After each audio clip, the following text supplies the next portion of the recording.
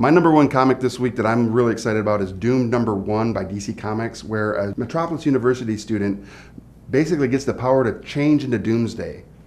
Yeah, I mean, it's Doomsday, so I'm pretty excited for that. Pick it up. Lazarus 17 comes out this week. It's a whole new storyline, and I'm really excited to pick it up and follow this new story. This week from DC Comics, we got Justice League number one. It's post convergence. We got Bryan Hitch. It's going to be crazy. Of course, we got the big three on the roster. Who else do we have on the roster? Check it out this week. Another comic I'm really excited about this week is Dark Horse's Archie vs. Predator number three. The Predator has rallied up some kills and tallied them all out. Let's see if the Riverside teens can survive this issue. Dude, I picked that one too. It's going to be awesome. What? Yeah, I mean, Archie versus Predator. Dude, he's just killing people in Archie animated style. So yeah, yeah. Yeah, it's gonna be But you gotta pick that one up. And hopefully, maybe Betsy or Betty will get some uh, Yeah, yeah, yeah. blood on her this Sounds time. good, sounds Yeah. good. All right, pick it up. From Clamp, this week we have the XXX Holic Omnibus number six coming out. I'm really excited. It's collecting a whole bunch of the XXX Holic series, so go pick it up. Check it out from IDW Publishing. We got Ghostbusters Get Real. We have the comic versions of the Ghostbusters getting real with the real Ghostbusters. That animated series I like to enjoy when I was a child. I can't wait for this crossover. Check it out this week. Pathfinder Origins number five comes out this week. I'm super excited as a huge fan of Dungeons and Dragons and all things fantasy adventure. We're going to follow the adventures of Harsk, the Dwarven Ranger, and see what kind of mischief this guy can get into.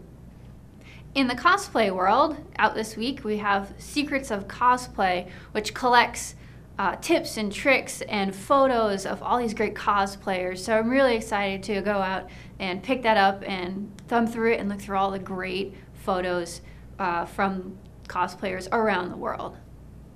From Marvel Comics, we have another Secret Wars comic. It's Squadron Sinister number one. The villains are all in charge. They're crazy. They're doing their own thing. They're everywhere. Hyperion.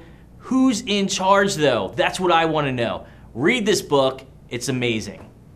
Marvel's Armored Wars number two continues in the Secret Wars storyline where we maybe we're going to find out what this Iron Hand guy, what he's all about, and these mysteries with Technopolis and what Baron Tony Stark's go, got going on. So that's what I'm looking forward to reading in Marvel's Secret Wars storyline this week.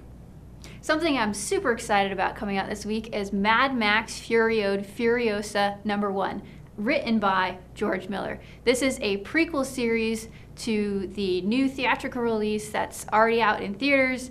It's gonna be awesome. Oh my god, I love it too. It's like truly, I, I know I interrupt everybody today, but it's really gonna be amazing. Yeah, it's it's like great. got ah the humanitarian story that I feel that Fury Road is, which is relentless. And if you haven't seen it in theaters, you got to. Amazing. Can't wait to read it. Throwing some love out to our friends over there at Zenescope, I'm going to be picking up Grimm Fairy Tales number 111. In this uh, issue, the Mad Hatter, who has been trapped in Violet's mind, finally escapes and takes her takes over her body. And also, I have a feeling we're going to find out what the Dark Horde's big plans are in the whole Grimm Fairy Tale storyline. So, pick that one up as well. Another volume one is Adventure Time Banana Guard Academy. Talk about all the banana guards in the King- Candy Kingdom. Uh, this is a new trade, so go pick it up.